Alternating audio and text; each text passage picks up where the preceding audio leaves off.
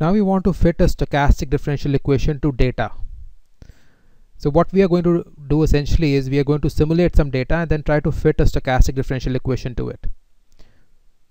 So the method which we are going to use is quasi maximal likelihood estimation and uh, this is a standard technique maximum likelihood estimation um, which tries to fit a given uh, differential equation to a data.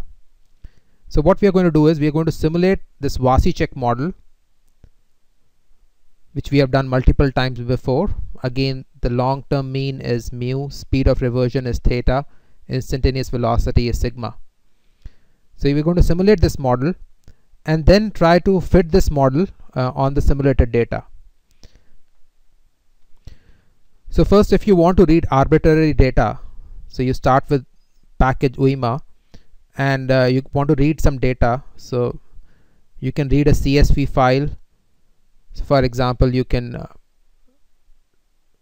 go to this link which is basically takes uh, data of Google for the past one month and downloads it into an Excel file. So if you type this link in your uh, address bar you will get an Excel sheet which will download onto your PC from Yahoo which just captures the share prices for Google. So in this share prices you will have a column for close. So I'm setting D as the column corresponding to the closing of uh, Google share prices. So this is how you set the data. If you want to set your own data, so this could be interest rates or something. Now we are not going to do this. This is just an example of how to set your data. We are going to focus on this part. So you're going to set the model as before. You know, you have your drift theta times mu minus x. You have diffusion, which is sigma. Your state variable is x, time variable is t, and say initial value is 0.5. So you simulate this. So you have simulated this. Then before you fit, now this part is for fitting data. So here we are going to fit data to our SDE.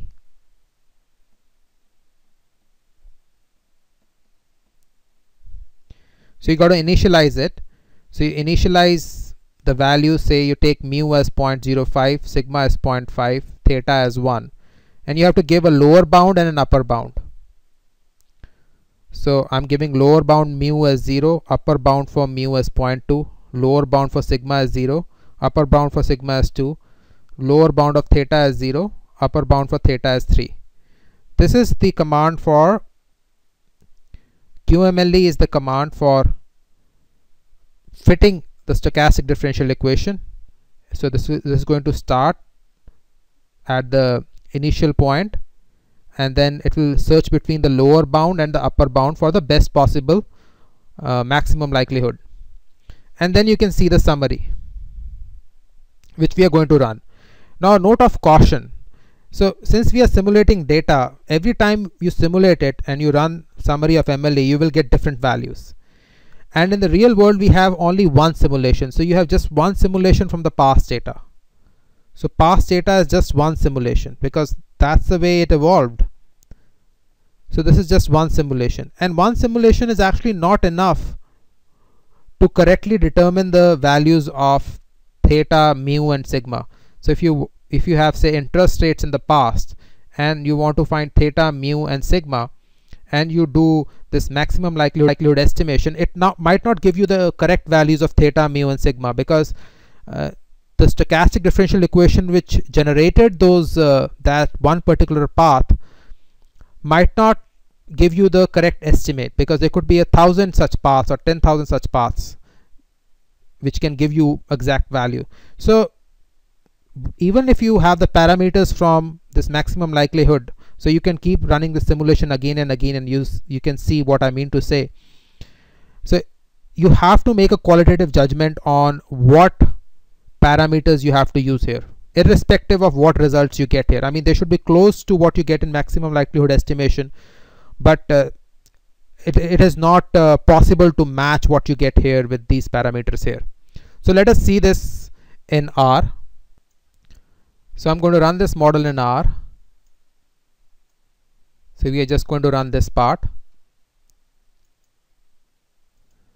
So notice that theta is coming out to be 1.9 we set it at 2 sigma is coming out to be 0.2 and mu is also coming out to be 0.2 so notice that mu we set as 0.1 but the value you're getting as is 0.2 theta we set as 2 we are getting as 1.9 sigma we set as 0.2 you're getting 0.21 so notice at least for mu we are not getting the correct value.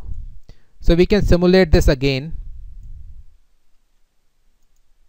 And now you see theta is 3 so the value we set theta was 2 here. Here the value is 3 so it is not exactly correct. Sigma is again 0.19 you have 0.2 here and mu is now coming to be 0.11 now since we are simulating you can simulate it as many times as you feel like. But in the real world you just have one simulation. And on that one simulation you have to find these estimates. So it is extremely important to understand that these estimates are not going to be correct. You have to make a qualitative judgment about these estimates